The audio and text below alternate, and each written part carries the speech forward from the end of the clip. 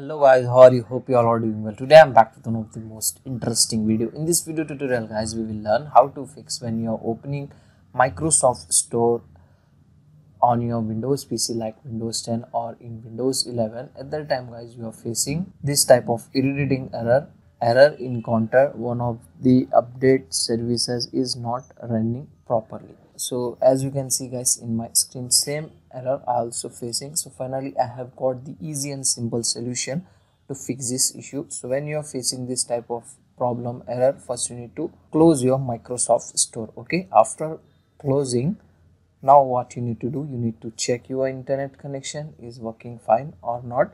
So main reason behind this error is this guys. If the Microsoft server is down so at that time you can also get this type of error messages. So wait for a few minutes. Afterwards try to open your store. Hopefully this will helps you to fix your problem. Still in case you are facing same type of problem now what you need to do you need to troubleshoot the error. To do this guys you need to open the windows settings. In the windows settings go to system and in the system scroll down in the right panel here you can get the option troubleshoot so first you need to troubleshoot your windows update. Go to other troubleshooter like this. Here you can get the option windows update.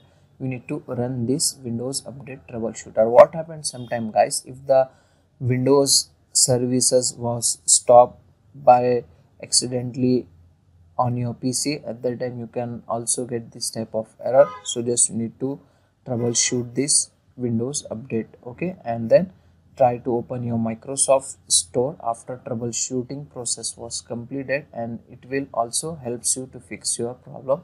Still in case you're facing same type of problem now you need to run the microsoft store app troubleshooter. Just scroll down here you can get the option windows store app. You need to run this troubleshooter just click on run it will start detecting your problem. So follow the on-screen process instruction to complete this step okay? And then you need to restart your pc one time compulsory okay? Afterwards you need to open the microsoft store app on your pc now it will fix your problem. Still in case guys if you're facing same type of problem now what you need to do you need to check your windows services is working fine or not to check this guys you need to open the services. So press windows key button and here guys you need to search services okay? Like this. Right click on the services and you need to open this with run as administrator okay?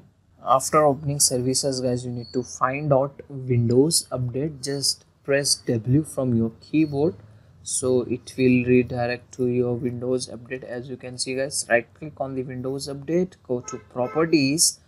In the startup type extend this. You need to select this automatic okay? And then click on start click on apply and click on okay that's it. Close this. Now open the store. It will work fine okay?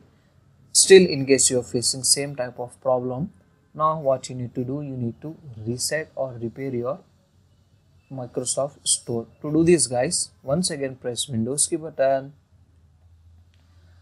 and here you need to search Microsoft Store, right click on it, go to app settings like this. In the app setting, here you can get this both option reset and repair.